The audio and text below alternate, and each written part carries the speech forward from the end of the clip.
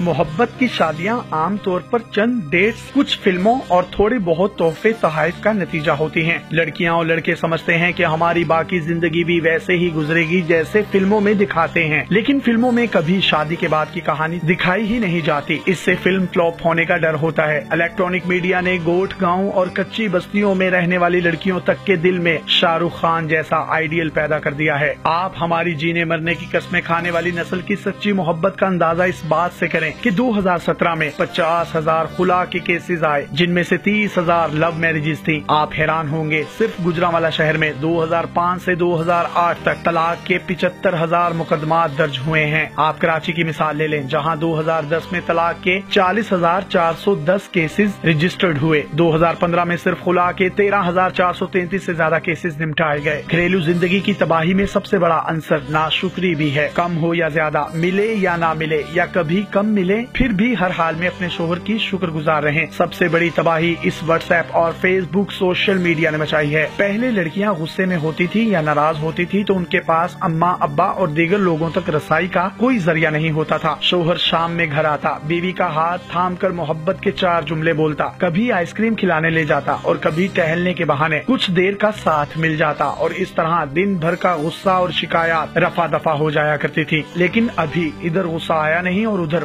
What's app پر سارے گھر والوں تک پہنچا نہیں یہاں میڈم صاحبہ کا موڈ آف ہوا اور ادھر فیس بک پر سٹیٹس اپلوڈ ہو گیا۔ اور اس کے بعد یہ سوشل میڈیا کا جادو وہ وہ گل کھلاتا ہے کہ پورا کا پورا خاندان تباہ و برباد ہو جاتا ہے۔ یا نتیجہ خودکشیوں کی صورت میں نکلتا ہے۔ مائیں لڑکیوں کو سمجھائیں کہ خدا را اپنے شوہر کا مقابلہ اپنے باپوں سے نہ کریں، ہو سکتا ہے۔ آپ کا شوہر آپ کو وہ سب نہ دے سکے جو آپ کو باپ کے گھر میں میسر تھا۔ لیکن یاد رکھیں، آپ کے والد کی زندگی کے پچاس ساٹھ سال اس دشت کی سیاہی میں گزر چکے ہیں اور آپ کے شوہر نے ابھی اس دشت میں قدم رکھا ہے۔ آپ کو سب ملے گا اور انشاءاللہ اپنی ماں سے زیادہ بہتر ملے گا۔ اگر نہ بھی ملے تو بھی شکر گزاری کی عادت ڈالیں۔ سکون اور اطمینان ضرور ملے گا۔ بیویاں شوہروں کی اور شوہر بیویوں کی چھوٹی چھوٹی باتوں پر تعریف کرنا اور درگزر کرنا سیکھیں۔ زندگی میں معافی کو عادت بنا لیں۔ خدا کے لیے باہر والوں سے زیادہ اپنے شوہر کے لیے تیار ہونے اور رہنے کی عادت ڈالیں۔ ساری دنیا کو دکھانے کے لیے تو خوب میک اپ، لیکن شوہر کے لیے سر جھاڑ، منہ پھاڑ، ایسا نہ کریں۔ جتنی دفعہ ممکن ہو محبت محبت کا اظہار کبھی تحفے تحائف دے کر بھی کیا کریں۔